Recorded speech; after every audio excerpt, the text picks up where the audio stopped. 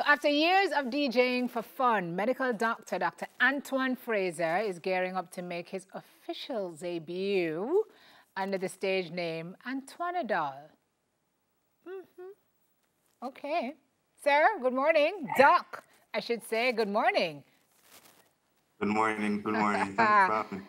Antoinadol is a name that was coined from your high school days. Tell me a little bit yes. about how you got it. All right, so if you know me as a person, you can ask my friends. I always joke and I always running jokes and gimmicks. So in high school, I jokingly gave my name Antonadol because you know the the medication Panadol, and the joke was that Antonadol was the girl in medicine. But then everybody just ran with it from over the years, and that was just the name I was just running with. So it's my Instagram handle. Like when I go to parties and dancing, them said Antoinadol and stuff like that. So I just keep that name. So, Everybody so knows. Here I was thinking that they were calling it Antoinadol because then you're become a, going to become a doctor, but not really. You you were the you were the gal them medicine. Well, I, you know we don't we don't have to we don't have to get into it. It's six forty. Let's not go into the gal them medicine monica. Uh, maybe a little too early, but Obviously, it was it was there was foresight there because you ultimately, I mean, you're dispensing Panadol and everything else as a medical doctor. Where did the music part come from now? Because you, I mean, you're always running jokes, but then you also had a knack for building tune. All right, so the music aspect of things. So really and truly, I, I never yet identified as an artist, right? I, I knew I could rhyme when I always used to rhyme from high school you know, make idol songs and stuff like that. But it was never an intention of mine to become an artist. But over the years, like I would just be there, I'd hear instrumental that I like, and I just would DJ to it. And then I'm always around um, artists, individuals. Like my friends are always artists. From high school, I used to have a good friend named Pencil Lunatic. I don't know if you know him, Brandon Bailey, that used to be an artist as well, and then he became a model. Mm-hmm. And then my, all different artists, like for example, Coyote, he's my good friend that sing when I'm I'm going. I always affiliated with the music um, scene. So I always had that liking for the music. And I would always do my, my songs like low key and nobody would really, you know, know beside my close, close friends. Nobody knew that alter ego because they just knew you as Doc, right? So, which yes. brings me to ask you, like, how you reconcile those two parts of yourself? Because we hear about Dr. Fraser and we think of this, you know, we see in your white coat and we have this image of the stethoscope on your neck and you're serious and you're saying, well, you know, ma'am, or, you know, sir. Um, and then we think mm. of Antoinadol and it's this completely different person. So it's a little bit of schizophrenia, but, but in a good way.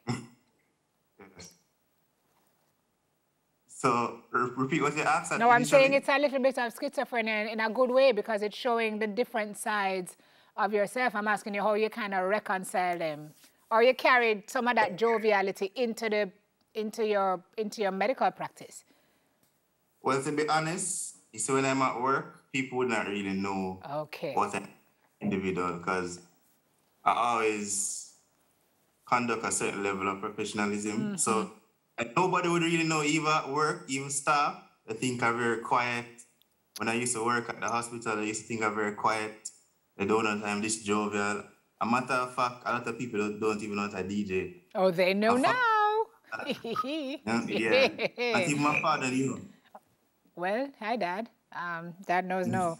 Doctor, uh, you know, you can still kind of bring the, the jovial nature into, you know, your, your, your practice. I think of Michael Abrams when I think about that. He's crazy. Like, you go to him as a doctor and you come out, please, with water running down your face from laughing.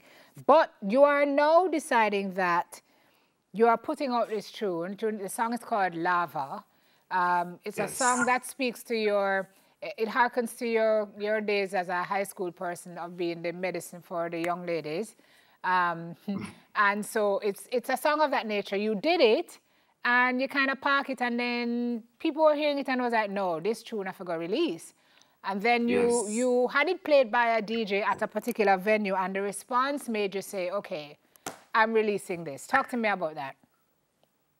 All right, so the inception of Lava so it came from the the idea of me just hearing an instrumental and DJing to it, and then I did my thing on it and I recorded it.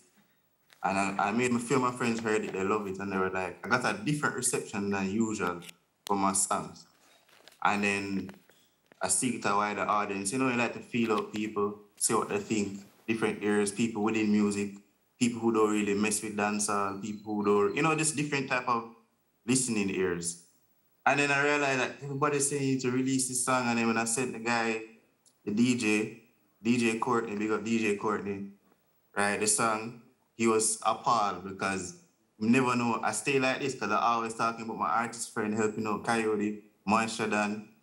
And then he said he's going to feature it at Jangas. And then from then, more and more people liking it within the industry as well. And outside the industry, And I was like, boy, I might have to take this song serious because I never release it at all, at all. And then a few people saying, yo, release it, do a music video as well because you have nothing to lose. So I was like, boy, this is not me, you know. It's not me. But I went ahead, purchased a license for the, the instrumental, and then just follow through with the process. And then as I did that, more and more popularity gained towards the song, more and more people liking it. I was just like, okay, nothing to lose. I mean, it's been a passion for years. Just, I went for it. So you you shot the video already? Yes, the video is shot. It's being edited at the moment. Okay, and your Vevo is in the process of being approved. You set up your platforms to distribute on Apple, um, Spotify. Actually, actually, Vevo was approved from last week. Okay. So people can start subscribing from now. So, so look here now, Doc. Where are you headed with this? I mean, this is our one song, but it, I mean, that's usually how it starts, you know. When you've been bitten by that bug, sometimes there's no turning back.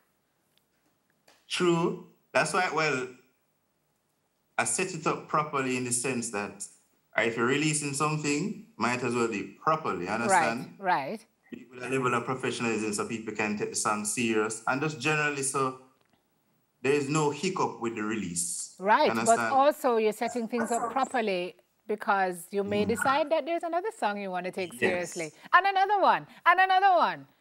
And then Antoine yes. becomes a big thing, and Dr. Fraser is. Is it possible? Well, the thing is that I don't mind. I'm always making songs in them. It's just that people don't know. Mm -hmm. And then mm-hmm.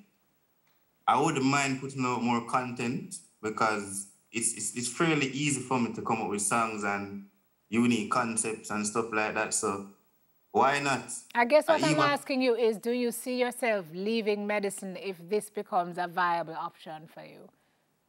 I would never leave medicine. Okay. That's my passion. Okay. But, okay. However, I would I would definitely take up the artist career as a side job. Sure. If, yes, if the demand is there, right?